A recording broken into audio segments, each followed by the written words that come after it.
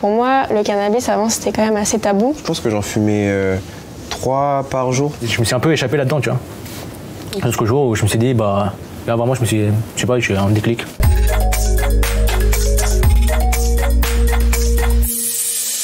Vous avez fumé, vous avez essayé J'ai fumé longtemps, moi. Ah ouais J'ai commencé, j'ai commencé tôt aussi. Combien de gens tu fumais par jour? Entre dès mes 14 à mes 18 ans, on dirait, j'étais entre 5 joints ou 10 joints. Par jour Par jour, ouais. Bah à 14 ans, comment tu, tu te payes euh, tout ça là?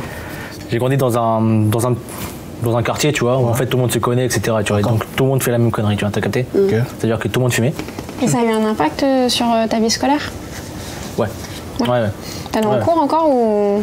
Ça, En fait, ça a décliné, tu vois. C'est arrivé au lycée où genre j'ai totalement décroché, genre je suis pas allé en cours pendant un an, tu vois. Comme toi, en fait, j'ai commencé vers euh, 14 ans. Bah, C'était avec euh, des potes aussi. Euh, en fait, bah, dans, dans le quartier, on était tous euh, des, des petits et la plupart avaient des grands frères. Et les grands frères étaient soit, soit en fait vendés, soit ils fumaient. Du coup, on était toujours en fait dans ce, dans, dans ce cadre-là de fumette. Et euh, à un moment, je sais pas, il y a un de nos potes qui, qui nous a dit bah, venez, on, on essaye.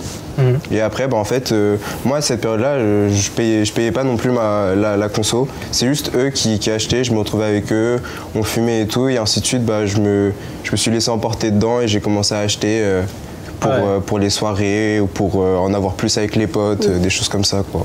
Et combien, combien de, de gens tu fumais? Euh, je peux. Je sais pas trop, je pense que j'en fumais euh, trois par jour.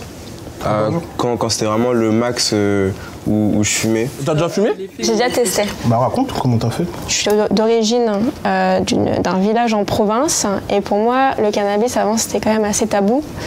Euh, J'étais pas du tout euh, confrontée à, à ce sujet et j'avais le stéréotype de euh, la weed, c'est les cités dans l'île de France. Voilà, Le- l'a priori. euh, l'a priori. Et puis euh, je suis partie euh, à Paris pour mes études en, en école de commerce. Dans mon école, tout le monde, tout le monde fumait. Plein d'amis à moi euh, dans mon entourage euh, ont fumé euh, ou fument encore euh, actuellement. Mais il n'y a pas du tout ce, ce- cette vision un peu catastrophe de euh, la personne elle fume et puis ça y est, euh, elle est addicte euh, au bout du 1er juin, euh, elle devient schizophrène. Enfin, j'en ai entendu quand même euh, Ouais. pas mal quoi. Mais il y a plein de. Enfin, c'est variant en fait aussi au niveau des effets. Les gens ils lui prennent pas de la même façon. Ouais, ça c'est sûr par contre. Par exemple, moi c'était un gâteau, genre les space cakes. Et euh, en fait, je savais même pas qu'il y en avait dedans. J'ai pris parce que j'avais juste faim. Moi j'ai- j'étais là juste pour manger et j'étais juste lente. J'étais juste lente. J'avais pas senti. Moi je fume pas. T'as jamais fumé? J'ai déjà essayé. C'est pas frais du tout ce bail. C'est vraiment pas frais. Et en mode, ça m'a jamais. euh, Parce qu'en fait, après, peut-être c'est ma personnalité, j'ai besoin de toujours garder le contrôle en fait. Et je peux pas être, euh, comment dire, dépendant. Évidemment, ouais. Ouais, dépendant. Moi, je suis né en Colombie, tu vois. J'ai vécu là-bas, j'ai vu pas mal de trucs, tu vois, qu'un enfant ne devrait pas voir. T'as capté. C'est-à-dire que quand tu, euh, quand tu grandis, Mhm. tout ça, ces images, ça, c'est toi. voilà, tu vois, ça se réveille en gros. Mais euh, du coup, en gros, ouais, moi, je, me suis- je me suis un peu échappé là-dedans, tu vois.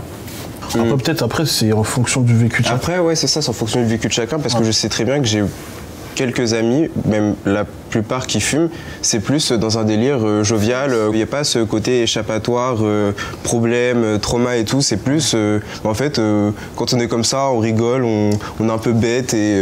Moi, franchement, je sais pas ce que vous en pensez, mais moi, je suis pour que les jeunes, ils se prennent des amendes sur ça, qui...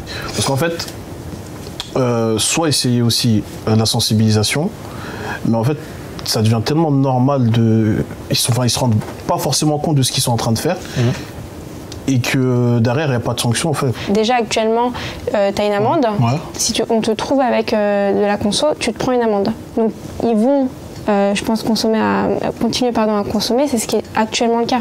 ça, ça change rien dans tous les cas. t'as déjà eu, euh, genre, imaginons un rapport avec euh, la police au vu du fait que bah, t'avais de la consommation sur toi? Si, bah, c'est plus euh, des, des contrôles où, par exemple, euh, je fume un joint dans la rue et t'as la BAC euh, qui, qui passe, euh, qui, qui met un petit coup de pression et après ils disent allez, dé- allez dégager, tu vois. On est d'accord, tu t'es jamais pris une amende.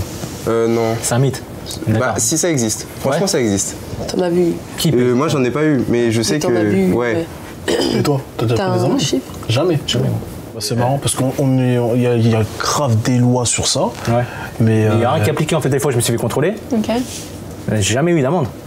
Avec du cannabis sur avec toi. du cannabis sur moi, avec des joints sur moi, en train de fumer, avec le, le- le truc au bec. Mais après, est-ce que toi, euh, quand, tu te, quand tu te faisais contrôler, genre ils il te demandaient de prendre ta conso, de l'écraser, ou ils te la prenaient, ils te l'écrasaient, des trucs comme ça, tu vois? Ouais, basique. Juste un rappel à l'ordre, en gros, de la part des, des, euh, des Et tu policiers. disais, tu disais que t'allais plus recommencer, que t'allais plus. Ouais, mais la semaine d'après, on l'a revoyé, tu vois. Mais et en fait, à un moment donné, t'as même plus peur.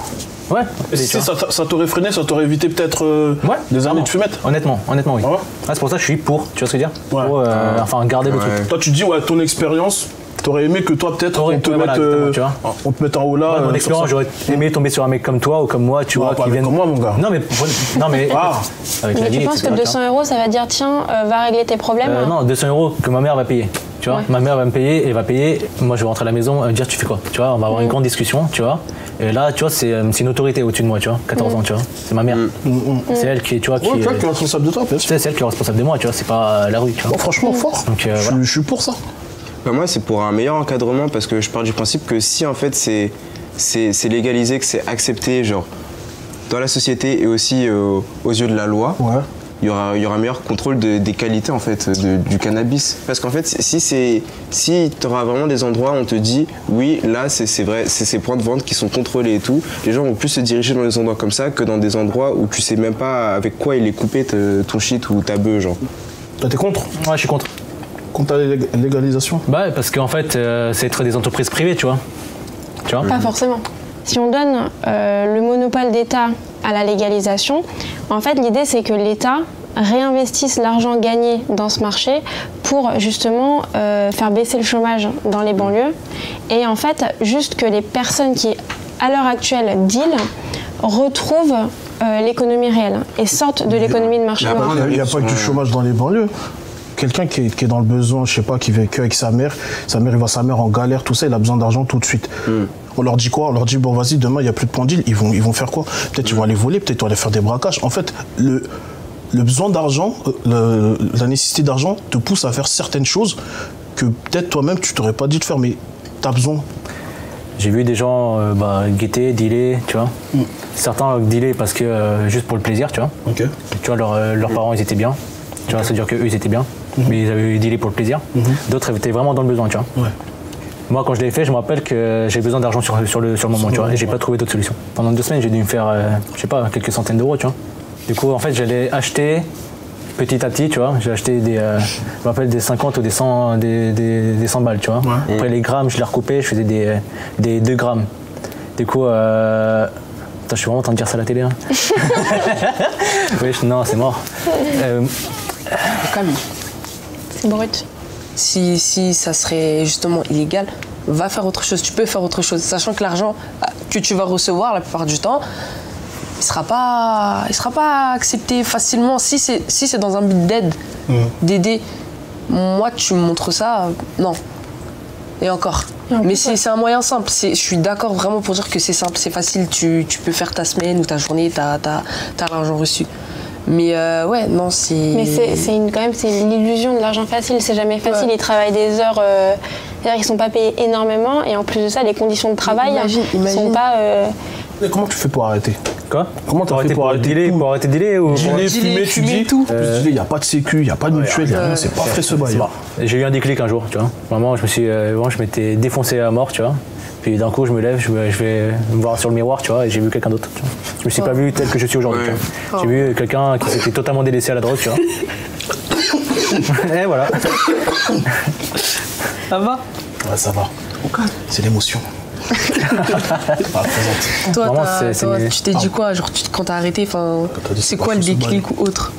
Moi, initialement, fumer, euh, genre du cannabis, c'était avec des potes dans un moment, genre, où on se tape des bars, où on passe un bon moment. Ouais, c'est toujours été Et genre, en fait, plus j'ai avancé dans la vie, plus en fait ça s'est transformé en autre chose, où je, je me suis juste créé une bulle, où genre je pouvais fumer tout seul. Mais en fait, genre j'ai totalement inversé en fait euh, ma relation que j'avais en- envers le cannabis. Et du coup, en fait, j'ai j'ai décidé d'arrêter. Et genre, je vais fumer très rarement, mais avec mes vrais bons potes. Hormis, euh, enfin, s'il n'y avait pas la drogue, tu penses que ça aurait été tes potes ou Regarde, pas? ça c'est euh, ça c'est un truc de ouf hein. Parce que euh, Moi, pour arrêter totalement, Ouais. j'ai dû couper des liens, tu vois. Vraiment, là, je- depuis un an pr- pratiquement, je, je bois pas d'alcool, je fume pas de clope, Ouais. et je bédave pas, tu vois. Parce que tu as changé tes fréquentations. Exactement, tu vois. Et pourtant, c'était vraiment des sauces de cœur, tu vois. Tu, mais, euh, tu veux pas les aider? Enfin, tu veux pas j'ai essayé de les aider, tu vois, mais je sais qu'ils se y en détruisent aussi, tu vois c'est veux des, Ah, cas désespérés aussi. hein. Tu ressens pas, moi? En fait, l'impression, comment, comment, comment vous en parlez, j'ai l'impression, tu t'es levé, t'as le dit, vas-y, ça y est, fin, je, fume plus. Bah non, bah, parce que moi, en fait, moi, c'était aussi simple que ça. J'étais en mode, bah, en fait, pourquoi tu prends la tête, juste arrête. Si, enfin, c'est pas que c'est pas facile psychologiquement, tu vois. Ouais. C'est plus des effets physiques, tu vois. Par Mm. exemple, euh, moi, quand j'ai décidé d'arrêter, bah, je dormais pas la nuit, tu vois. Ouais. Genre, tu vois, Et vous avez pas fumé de cigarette après? Tu combles le, le joint par la cigarette souvent au début, Mm. mais euh, c'est pas une solution non plus, tu vois. Moi, aujourd'hui, je fume toujours des clopes. Bon, j'ai prévu d'arrêter. Pour l'instant, je m'en fous un peu. Et, et voilà. Moi, pour arrêter, si ça peut aider des gens, pour arrêter, la première clope, c'est la plus importante. La journée, c'est celle qui va te donner envie de fumer dans la journée. Je l'ai remplacée par une pomme. Oh. ah, c'était beau, c'était beau. Ah, la vie, c'était beau.